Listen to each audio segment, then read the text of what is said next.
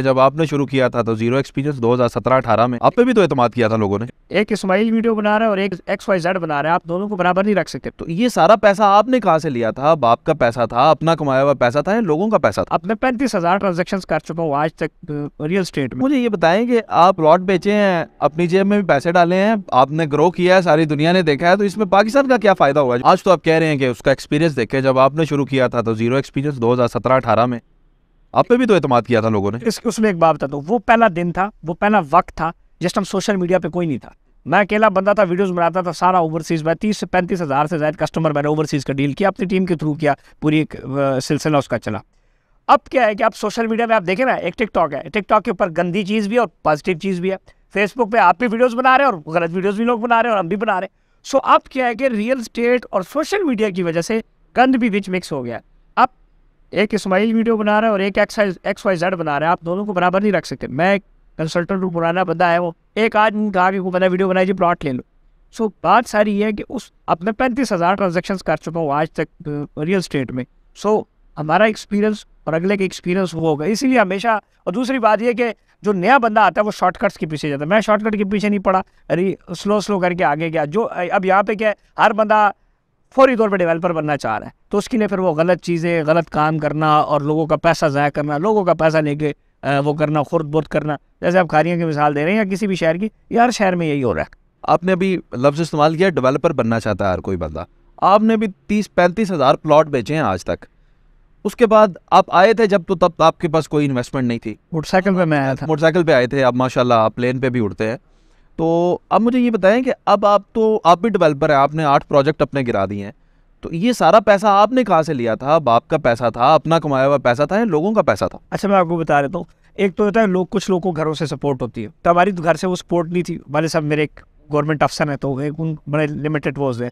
दूसरी बात ये होती है कि आपको इन्वेस्टर सपोर्ट करते तो हमने इन्वेस्टर से पैसा नहीं लिया। हमने क्या किया कि जब मैं रियल स्टेट में आया तो पहले कमीशन भी अच्छा होता था और प्रॉपर्टी सस्ती थी। सो हमने जब कमीशन के बाद में जितना मैंने सोसाइटियों से पैसा लिया उस बाद में हमने कमर्शियल प्लाट्स ले लिया बैरियटोन में ले लिया फैसल टाउन में ले लिया मरी में ले लिया फ़ेज़ एट में ले लिया ये सब डिफरेंट बैरियल और में ले लिया। वो हमने सस्ते प्लॉट ले लिए। उस टाइम इन्फ्लेशन नहीं थी। हमने सस्ते प्लॉट लिए उस पर प्रोजेक्ट बनाना शुरू कर दिया। आज जो बंदा डेवलपर बनना चाह रहा है वो प्लॉट इतना महँगा जो प्लॉट मैंने दो करोड़ का लिया उस टाइम बारह करोड़ रुपये का प्लॉट है। सो so, ये सिलसिला था कि उस टाइम चीज़ें सस्ती थी और हमारा डिसीज़न ये था कि रियल स्टेट एजेंट से आगे डेवलपर में हम शिफ्ट इस तरह हो गया रॉयल बिल्डिंग तो अब तो आप डेवलपर बन चुके हैं ना अब तो आपके इतने बड़े बड़े प्रोजेक्ट्स चल रहे हैं। फिर प्लॉट क्यों बेचते हैं दूसरी सोसाइटीज़ के? देखिए हम जो गैप अपने बनाया हुआ है हम उसको कवर रख रहे हैं। उसकी वजह क्या है कि अगर एक एक कस्टमर मेरे पास आ रहा है मैं उसको ना करूँ और वो किसी गलत हाथों में चला जाए। नंबर वन ये बात। दूसरा मेरा आता हुआ रिस्क मैं उसको क्यों लात मारूं? और इतनी बड़ी टीम चल रही है निज़ाम चल रहा है वो भी खुश और हम भी खुश। लो इन्वेस्टमेंट ये सारे प्रोजेक्ट तो आप जो कर रहे हैं, ये तो करोड़ों के, अरबों के प्रोजेक्ट हैं और जो सोसाइटीज़ में आप काम करते हैं, जिनका, जिनके आप प्लॉट बेचते हैं, वो फिर वही बात है, वो तो लाखों के, उनके प्लॉट हैं। जो बंदा दिहाड़ीदार है, या आप कह लें सरकारी मुलाजम है जी, पचास हज़ार तनख्वाह है, बीस हज़ार बचा लेगा वो मंथ एंड पे। उसके लिए क्या? आप भी आप भी बाकियों की तरह ही हैं, उनके लिए कुछ आप ऑफ़र है? देखें हम एज जो हमारी प्रॉपर्टी नंबर ग्रुप जो मेरी कंपनी है, इसके under property number real estate है, जिसके थ्रू हम एज अ कमीशन एजेंट हम लोगों को सर्विसेज़ देते हैं, लोगों को प्रॉपर्टीज़ लेके देते एक हमारा रियल स्टेट डेवलपर है, जो कि, जो प्रॉपर्टीज़ महँगी है, वो दो दो, ढाई ढाई करोड़ की एक यूनिट है। मरी में हम जो प्रोजेक्ट करें वो कम अज़ कम सत्तर, अस्सी लाख रुपए की इन्वेस्टमेंट है। अब वो लोग जो आपने बात की कि जो कम तबका है जो कम इनकम वाला है बंदा, उसके लिए हमारा लो कॉस्ट सेगमेंट्स हैं। लो कॉस्ट हमारे पास इन्वेस्टमेंट्स है। फॉर एग्ज़ाम्पल एक बंदे के पास सिर्फ़ लाख रुपये एडवांस है हम उसको भी प्रॉपर्टी देते हैं और अगर पंद्रह बीस हज़ार रुपये महीने के विचार है तो हम उसको भी प्रॉपर्टीज़ दे रहे हैं। सो वो लोग भी हमारी कंपनी से रब्ता करके तो वो भी प्रॉपर्टी ले सकते हैं। सिर्फ़ सेगमेंट्स नहीं है कि सिर्फ़ अमीर बंदा ही प्लॉट लेगा, गरीब भी ले सकता है और ये जो पैंतीस हज़ार लोग बता रहा हूँ, उसमें बीस हज़ार तो गरीब लोग हैं, उन्हीं की दुआएँ जो हम यहाँ पे बैठे हैं। आपने अभी प्रेजिडेंट अवार्ड जीता है कोई, अभी लास्ट ईयर एंड पे साल के तो मुझे ये बताएँ कि आप प्लॉट बेचे हैं, अपनी जेब में भी पैसे डाले हैं, आपने ग्रो किया है, सारी दुनिया ने देखा है तो इसमें पाकिस्तान का क्या फ़ायदा हुआ जो आपको अवार्ड मिल गया। बड़ी, सबसे बड़ा फ़ायदा ये हुआ है कि हमने जितनी ट्रांजेक्शन की हैं, वो एक जो है ना फॉरेन इन्वेस्टमेंट आई है एफडीआई पाकिस्तान की बड़ी है, बाहर से पैसा आया, लोग का ट्रस्ट बढ़ा है और अरबों रुपया लोगों ने भेजा है। फिर दूसरी एज हम टैक्स पेयर भी टैक्स अदा कर रहे हैं। दूसरा, जब लोग हमारे कस्टमर से पाकिस्तान के अंदर पैसा भेजा उस पर गवर्नमेंट का इकोनॉमी मज़बूत हुई। तीसरा, हमने कम वक्त के अंदर अपने प्रोजेक्ट्स डिलीवर किए। इसी मद में सदर पाकिस्तान ने हमें रियल स्टेट में एज अ डेवलपर कह लें या कंसल्टेंट हमें जो अवार्ड दिया है बस ये अल्लाह का फजल और करम है इसमें बाकी कोई इतनी बड़ी साइंस आपकी वीडियोज़ ना अच्छी होती हैं। अच्छी से मुराद ये है कि उनमें मोटिवेशन होती है।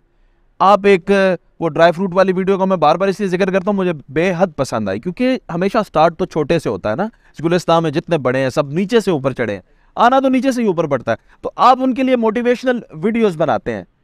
अब ये जो आज आया है इस फ़ील्ड के अंदर एक परसेंट, दो परसेंट पे कमीशन लेने वाला एजेंट उसको मशवरा क्या देते हैं? बने डेवलपर वो। उठाए लोगों से पैसे या क्या करे? लोगों से पैसा ना उठाए कोई भी बंदा, क्योंकि जब आप लोगों से पैसा उठा लेते हैं, आप उनके काने बन जाते हैं। पंजाबी काने कहने उर्दू मोहताज कहने डिपेंडेंट आप उनके ऊपर हो जाते हैं। सिंपल सा उसूल ये है कि जो आप पैसा कमा रहे हैं, उस पैसे को अच्छी जगह पर इन्वेस्ट करें री इन्वेस्ट खुद करें। और अगर अच्छे कंसल्टेंट का की निशानी यही है कि उसने अपना पैसा को अच्छी जगह पे लगाया हो। तो अगर आप अपना पैसा अच्छी जगह पे नहीं लगाया तो आपका कैसा लगा? रहा है अगर मैं समझता हूँ वन परसेंट दो परसेंट करके एक बंदा बीस लाख रुपया कमाता है तो 20 लाख से भी डेवलपर बन सकते हैं। 20 लाख का प्लॉट है ऊपर घर बनाए सो घर बनाने वाला भी डेवलपर है। बड़ा छोटा डेवलपर हो सकता है। डेवलपर डेवलपर होता है। सो आप ऐसा बिल्डर बल्कि बिल्डर बन सकते हैं। छोटे मोटे घर बने कंस्ट्रक्शन की तरफ़ जाए। सो छोटा या पहले दिन से जो बच्चा आने वाला है वो साल बाद अपने दो चार घर बनाए। घर से बिल्डिंग बनाना शुरू किधर से घर बनता है? जी ये सोसाइटियाँ जिनमें प्लॉट बेचते हैं। बेचारे किस्तों के प्लॉट होते हैं पचास हज़ार पचहत्तर हज़ार पेट मिलता है उनको उसमें घर बनाए वो। देखिए मैं आपको किधर उसको कहाँ पे री इन्वेस्ट करे? देखिए उसकी उस घर की रोटी भी तो चला दी उसकी उसकी देखिए रियल स्टेट में ना पैसा है। रियल स्टेट ऐसी नहीं है वहाँ पीछे पड़ी हुई रियल स्टेट के हर बंदा डीलर बना हुआ रियल स्टेट में पैसा है। और ये तो अच्छी सोसाइटियाँ पचास साठ हज़ार सत्तर हज़ार रुपये रिबेट देती हैं। जो दो नंबर सोसाइटी है वो ढाई ढाई तीन तीन लाख रुपए पर प्लॉट देती है। हाँ, लेकिन उसने उड़ भी तो जाना है। हाँ उड़ भी तो जाना है। तो लेकिन लोग ये नहीं देख रहे बस लोग तो बेच ही जा रहे हैं। आजकल चार पाँच पाँच लाख रुपए रिबेट वाली भी प्लॉट्स हैं जो मार्केट में। अच्छा। हाँ नॉर्मल ही है। मतलब बारह बारह पंद्रह पंद्रह परसेंट रिबेट भी है क्योंकि वो दो नंबर प्रोजेक्ट उन्होंने करना तो है कुछ नहीं। सो लेकिन जो आपने बात की कि कम पैसों से कम पैसों में अल्लाह बरकत डालता है और रियल स्टेट एक ऐसी फ़ील्ड है कि कहीं ना कहीं आपका छक्का लगता है दस पंद्रह लाख की दिहाड़ी आपकी लग जाती है उससे आप अपना काम शुरू करें।